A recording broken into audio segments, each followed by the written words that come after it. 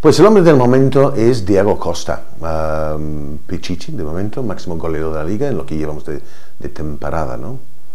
Ocho partidos y, creo que son nueve goles que, ha marcado. Y se habla de que puede vestirse la roja, ¿no?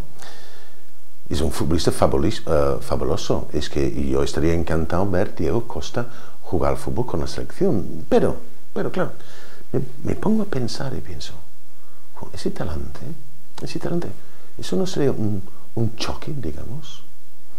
Sin embargo, eso lo mencioné yo con unos amigos eh, cuyos nombres no puedo desvelar. Pero conocen Diego Costa. Yo no conozco a Diego Costa, pero tengo muchas referencias acerca de él. Y coinciden todos que es un pan. El que más trabaja, el que más se dedica a esto.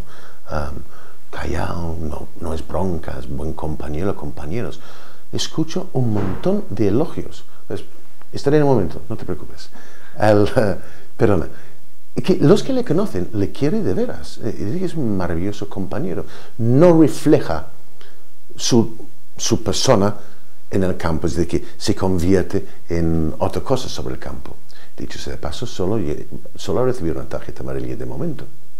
Entonces, pues, si Vicente el Bosque considere que su talante acompañe su talento. Y si Vicente del Bosque considere que este chico sería un buen compañero en La Roja, yo creo, Vicente del Bosque, no somos nadie para juzgar esto. El mayor interesado de que Vicente del Bosque lleva una buena persona a la sección es Vicente del Bosque. Y conozco muy poca gente que tiene mejor criterio que nuestro seleccionador, el Marqués del Bosque. Y su compañero en la delantera de, Costa, Villa, estoy recibiendo gente que dice, oye, ¿qué pasa con Villa? ¿Qué pasa con Villa? Villa está jugando de maravilla. Lo que pasa, él no está marcando tantos goles tal vez, pero él es uno de los secretos para que Diego Costa está marcando tantos goles. Porque rebobinamos nuestra memoria. Año pasado jugó Falcao Falcao no estaba incómodo, veniendo en corto para recibir el balón. Entonces, eso lo hacía Teo Costa. El balón que va en largo, va Falcao.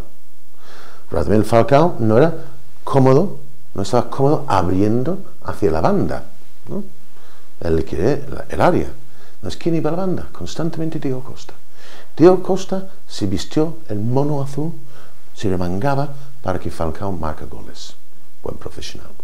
Pero ahora teniendo el guajevilla, el guajevilla sí es cómodo veniendo en corto para construir juego con él, que permite que Costa va hacia el área. El guajevilla está muy cómodo abriendo hacia las bandas, entonces Costa puede estar en el área.